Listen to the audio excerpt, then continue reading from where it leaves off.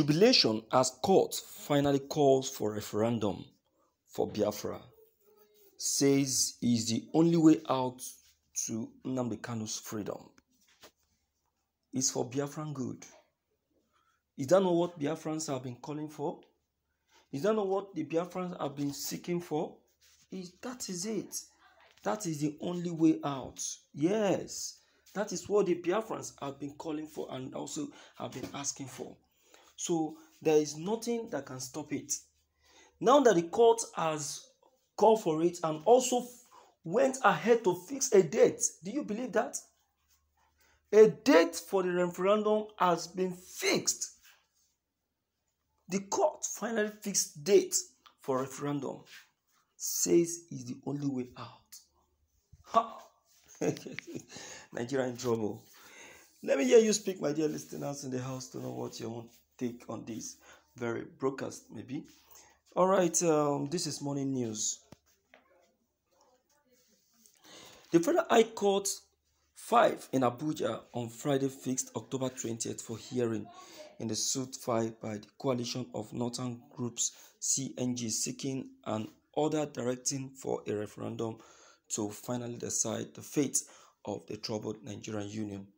Announcing the adjournment, Justice Ekpo said it was to give 14 days to the plaintiffs to amend their originating summons and another 14 days for the defendant to file a response. Earlier, the court had granted application by 16 groups seeking to be joined as defendants in the suit, bringing the number of defendants to 20. Speaking after the adjournment, the lawyer representing the Igbo nation of the Southeast region said the CNG had provided a likely solution to the lingering communal bickering by filing the suit. He said the suit shall serve as a vehicle to address, in particular, the marginalization of the Southeast by denying it the opportunity to produce the President of Nigeria. Reacting, one of the defendants, the spokesperson for the group, Abdul Aziz Sulaiman expressed satisfaction at the way the process they initiated was inviting national attention. Let me say congratulations to um, to the Biafrans. Yeah, a very big congratulations to the Biafrans. This is what the Biafrans have been calling for, but the Nigerian government has been turning it down, has been running away from it. But now, no way to run anymore. See, let me tell you, my dear listeners, this is how we know. This is how we know if truly that the Biafrans, the, if this how we know if know the people that are um, seriously uh, in support or that still uh, that are still willing to still belong to the Biafrans or that are still willing to be a part and parcel of Biafran.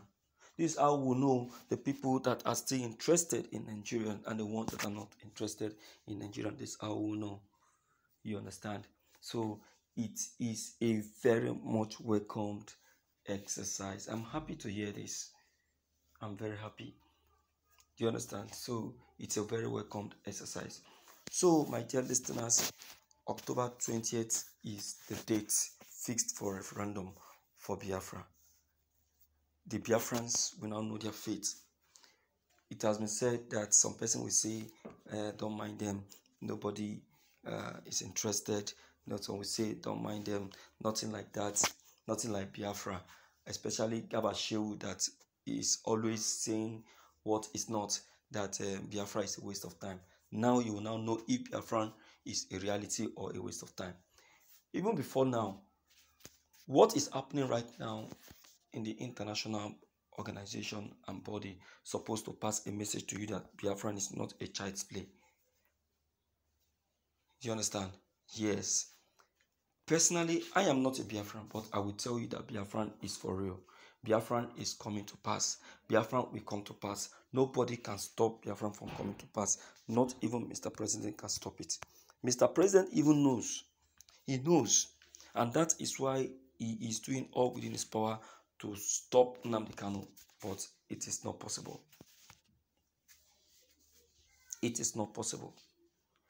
So, with this that has just been declared now, everybody will now know his own stand, where he belongs and where he doesn't belong. So, um, this reminds me of what the uh, the UK government said one certain time. They want Buhari that Buhari should make haste, should make haste and solve the issue he's having with the Biafrans, or else they will come in and help them out. Now, what that very promise is what is coming to pass right now. It's what is coming to pass right now.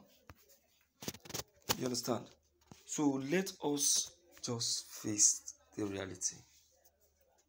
Let us face the reality. You understand? So, Mr. President,